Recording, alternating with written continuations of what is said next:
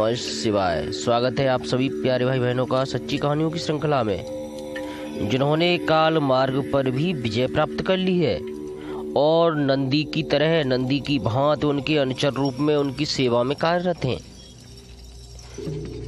आइए जानते हैं कालों के भी काल शिव भक्त महाकाल की सच्ची कहानी।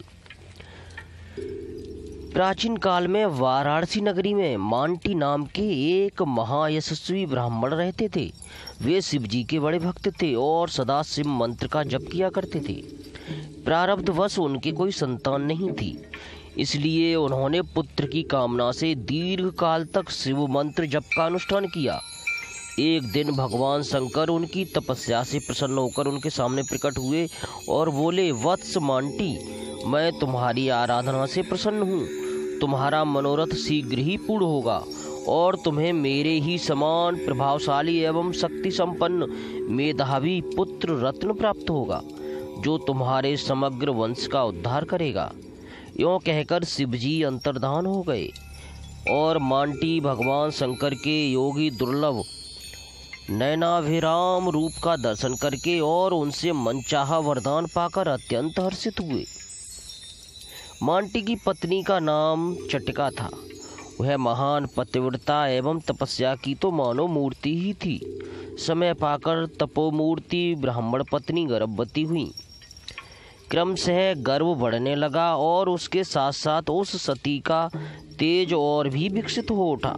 किंतु पूरे चार वर्ष व्यतीत हो गए। संतान गर्भ से बाहर नहीं आई। इस घटना को देखकर सभी आश्चर्यचकित हो गए। मांटी ने सोचा कि अवश्य ही यह कोई अलौकिक बालक है, जो गर्भ से बाहर नहीं आना चाहता। अतः वे अपनी पत्नी के पास जाकर गर्भस्थ शिशु को संबोधन करके कहने लगे, वत्स, सामान्य पुत्र भी अपने माता पिता के आनंद को बढ़ाने वाले होते हैं। फिर तुम तो अत्यंत पवित्र चरित्र वाली माता के उदर में आए हो, और भगवान शंकर के अनुग्रह से हमारी दीर्घ काल की तपस्या के फलस्वरूप हमें प्राप्त हुए हो। ऐसी दशा में क्या तुम्हारे लिए यह उचित है कि तुम माता को इस प्रकार कष्ट दे रहे हो? हमारी भी चिंता के कारण बन रहे हो। हे पुत्र, यह मनुष्य जन्म ही धर्म, अर्थ, काम और मोक्ष का साधन है। शास्त्रों में से देवताओं के लिए भी दुर्लभ बताया गया है। फिर क्यों नहीं तुम शीघ्र ही बाहर आकर हम सब लोगों को आनंदित करते? गर्व बोला, हे तात, जो कुछ आपने कहा, वह सब मुझे ज्ञात है। मैं यह भी जानता हूँ कि इस भूमंडल में मनुष्य जन्म अत्यंत दुर्लभ है। परंतु मैं काल मार्ग से अत्यंत भयभीत हूँ। वेदों में काल और अर्ची नाम के दो मार्गों का वर्णन आता है। काल मार्ग से जीव कर्मों के चक्कर में पड़ जाता है और अर्च मार्ग से मोक्ष की प्राप्ति होती है। काल मार्ग से चलने वाले जीव चाहे पुण्य के प्रभाव से स्वर्ग में ही क्यों न चले जाएँ, वहाँ भी उन्हें सुख की प्राप्ति नहीं होती। इसीलिए बुद्धिमान पुरुष निरंतर इस चेष्टा में लगे रहते हैं कि जिससे उन्हें इस घोर रूप गंभीर काल मार्ग में न भटकना पड़े। अतः यदि आप कोई ऐसा उपाय कर सकें, जिससे मेरा मन नाना प्रकार के सांसारिक दोषों से लिप्त ना हो तो मैं इस मनुष्य लोक में जन्म ले सकता हूँ। गर्भस्थ शिशु की इस शर्त को सुनकर मांटी और भी भयभीत हो गए। उन्होंने सोचा कि भगवान शंकर को छोड़कर कौन इस शर्त को पूरा कर सकता है? जिन्होंने कृपा करके मेरे मनोरथ को पूर्ण किया है, वे ही इस शर्त को भी पूरा करेंगे। यों सोचकर वे मन ही मन भगवान शंकर की शरण में गए और उनसे प्रार्थना करने लगे। मांटी की प्रार्थना भगवान आशुतोष ने सुन ली। उन्होंने अपने धर्म, ज्ञान, वैराग्य, ऐश्वर्य आदि को मूर्ति रूप में बुलाकर कहा कि देखो मांटी पुत्र को विपरीत ज्ञान हो गया है। अतः तुम लोग जाकर उसे समझाओ और ठीक रास्ते पर लाओ। भगवान महेश्वर की आज्ञा पाकर वे विभूतियाँ साकार विग्रह धारण कर गर्भस्थ शिशु के निकट गईं और उसे संबोधित कर कहने लगीं, महामती मांटी पुत्र, तुम किसी प्रकार का भय न करो। भगवान शंकर की कृपा से हम, अर्थात धर्म, ज्ञान, वैराग्य और ऐश्वर्य, कभी तुम्हारे मन का परित्याग नहीं करेंगे। अतः तुम निर्भय होकर गर्भ से बाहर निकल आओ। यूँ कहकर वे चारों दिव्य मूर्तियाँ चुप हो गईं। उनके चुप हो जाने पर अधर्म, अज्ञान, अवैराग्य और अनैश्वर्य भी विकराल मूर्तियाँ धारण कर भगवान शंकर की आज्ञा से वहाँ उपस्थित हुए और मांटिपुत्र से कहने लगे कि तुम यदि हमारे भय से बाहर न आते हो तो इस भय का त्याग कर दो भगवान शंकर की आज्ञा से हम तुम्हारे भीतर कदापि प्रवेश नहीं कर सकेंगे इस प्रकार धर्म, ज्ञान, वैराग्य और ऐश्वर्य तथा उनके विरोधी अधर्म, अज्ञान, अवैराग्य और अनैश्वर्य की आश्वासन बाणी को सुनकर ही बालक मांटिपुत्र अविलंब गर्भ से बाहर निकल आया और कांपते कांपते रुदन करने लगा। उस समय भगवान शंकर की विभूतियों ने मांटी से कहा, देखो मांटी, तुम्हारा पुत्र अब भी काल मार्ग के भय से काँप और रो रहा है। अतः तुम्हारा यह पुत्र काल भीति नाम से विख्यात होगा। यो कहकर विभूतिगढ़ अपने स्वामी शंकर जी के पास चले गए। बालक काल भीति शुक्ल पक्ष के चंद्रमा की भांति से बढ़ने लगा। पिता ने क्रम से उसके उपनयन आदि संस्कार किए और उसे पशुपति व्रत में परिनिष्ठित कर शिव पंचाक्षर मंत्र नमः शिवाय की दीक्षा दी। काल भीति अपने पिता के समान ही पंचाक्षर मंत्र के परायण हो गए। उन्होंने तीर्थ यात्रा के प्रसंग से विविध रुद्र क्षेत्रों में भ्रमण किया और घूमते घूमते स्तंभ तीर्थ नामक क्षेत्र में पहुँचे, जहाँ का प्रभाव उन्होंने लोगों से पहले ही सुन रखा था। वहाँ वे घोर तपस्या करते हुए एकाग्र मन से रुद्र मंत्र का जप करने लगे। उन्होंने यह नियम ले लिया कि सौ वर्ष तक भोजन की तो कौन कहे? जल की एक बूंद भी ग्रहण नहीं करूँगा। ज्यो ही सौ वर्ष समाप्त होने को आए, एक अज्ञात पुरुष जल से भरा हुआ घड़ा लेकर काल भीति के समीप आया और प्रणाम करके उस तपस्वी ब्राह्मण से कहने लगा, हे महामत काल भीति आज तुम्हारा अनुष्ठान भगवान शंकर की कृपा से पूर्ण हो गया है। तुम्हें भूख प्यास सहते हुए पूरे सौ वर्ष हो गए हैं। मैं बड़े प्रेम से अत्यंत पवित्र होकर यह जल तुम्हारे लिए लेकर आया हूँ। तुम कृपा करके इसे स्वीकार करो और मेरे श्रम को सफल करो। काल भीति को वास्तव में प्यास बहुत सता रही थी। अंजलि भर पानी के लिए उनके प्राण छटपटा रहे थे, परंतु सहसा एक अपरिचित व्यक्ति के द्वारा लाया हुआ जल ग्रहण करना उन्होंने उचित नहीं समझा। वे शंकापूर्ण नेत्रों से उस आगंतुक पुरुष की ओर देखते हुए बोले, आप हैं कौन? आपकी जात क्या है? और आपका आचार कैसा है? कृपा कर बताइए। आपकी जाति और आचार को जान लेने के बाद ही मैं आपके लाए हुए जल को ग्रहण कर सकता हूँ। इस पर वह अपरिचित व्यक्ति बोला, तपोधन मेरे माता पिता इस लोक में हैं या नहीं, इसका भी मुझे पता नहीं है। उनके विषय में भी मैं कुछ नहीं जानता। मैं सदा इसी ढंग से रहता हूँ, आचार अथवा धर्म से मेरा कोई प्रयोजन नहीं है। अतः आचार की बात मैं क्या कह सकता हूँ? सच पूछिए तो मैं किसी आचार विचार का पालन भी नहीं करता। काल भीति बोले, यदि ऐसी बात है, तब तो मैं आपसे क्षमा चाहता हूँ। मैं आपके दिए हुए जल को ग्रहण नहीं कर सकता। इस संबंध में मेरे गुरुदेव ने जो श्रुति सम्मत उपदेश मुझे दिया है, उसे मैं आपको सुनाता हूँ। जिसके कुल का हाल अथवा रक्त शुद्धि का पता न हो साधु व्यक्ति उसके द्वारा दिए हुए अन्न जल को ग्रहण नहीं करते। इसी प्रकार जो व्यक्ति भगवान के संबंध में कुछ भी ज्ञान नहीं रखता और न उनकी भक्ति करता है, ऐसे उसके हाथ का अन्न जल भी ग्रहण करने योग्य नहीं होता। भगवान को अर्पण किए बिना जो व्यक्ति भोजन करता है, उसे बड़ा पाप लगता है। गंगा जल से भरे हुए घड़े में एक बूंद मदरा के मिल जाने से जैसे वह अपवित्र हो जाता है, उसी प्रकार भगवान की भक्ति न करने वाला, न करने वाले का अन्न चाहे कितनी ही पवित्रता से बनाया गया हो, अपवित्र ही होता है। परंतु यदि कोई मनुष्य शिव भक्त भी हो, परंतु उसकी जाति और आचार भ्रष्ट हो तो उसका अन्न भी नहीं खाया जाता। अन्न जल के संबंध में शास्त्रों में दोनों बातों का विचार रखा गया है। अन्न या जल जो कुछ भी ग्रहण किया जाए, वह भगवान को अर्पित हो, और जिसके द्वारा वह अन्न अथवा जल लाया गया है, वह जात और आचार की दृष्टि से पवित्र हो।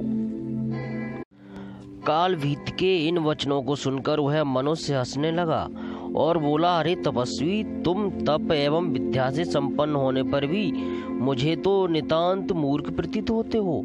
तुम्हारी इस बात को सुनकर मुझे हँसी आती है। अरे नादान, क्या तुम नहीं जानते कि भगवान शिव सभी भूतों के अंदर समान रूप से निवास करते हैं? ऐसी दशा में किसी को पवित्र और किसी को अपवित्र कहना कदापि उचित नहीं है। अपवित्र कहकर किसी की निंदा करना प्रकारांत से उसके अंदर रहने वाले भगवान शंकर की ही निंदा करना है। जो मनुष्य अपने अथवा दूसरे के अंदर भगवान की सत्ता के संबंध में संदेह करता है मृत्यु उस भेद ज्ञानी मनुष्य के लिए विशेष रूप से भयदायक होती है।